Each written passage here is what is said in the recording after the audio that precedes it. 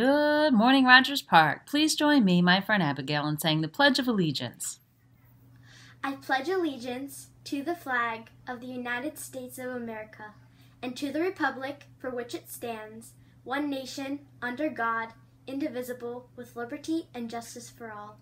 Thanks, Abigail. Today, everyone, is Monday, February 8th, and we are beginning a B week.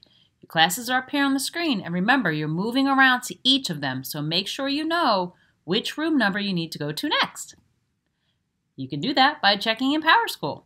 Make sure you're checking that Danbury Public School email and actively engaging in all your classes. For all the students that are going to be taking the LAS Links exam starting today over the next couple weeks, all I ask is that you take your time, answer the questions asked, do your very best, don't rush through, it's not a speed test, and show us everything you know. Eighth graders, today is indoor PE. Make sure you meet your teachers inside of the gym. Girls Who Code, your next meeting is Wednesday, February 10th at 3 o'clock using the Google Classroom code to enter. Debate Club, you also have a meeting on Wednesday the 10th at 2.45 and use the Google Classroom Meet to join. Attention all students, there's a cool new art contest. Pick your favorite Vans design.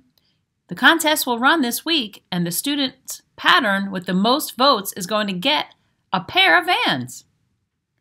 Picture days are this week. Blue Group, tomorrow on Tuesday, you will be getting your picture taken. So make sure you wear whatever outfit you'd like to have in your picture. And you comb your hair a little bit, wash your face, be ready to go. Orange Group, you do it on Thursday.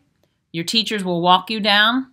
It's going to take very short amount of time. And distance learners, you guys are coming after school. Again, check your Danbury Public School emails because it's in the email I sent you this morning, there's a link for the distance learners as well to show you what time to show up after school and even a map to show you where to go. Don't forget that the Valentine's Day card drive ends tomorrow.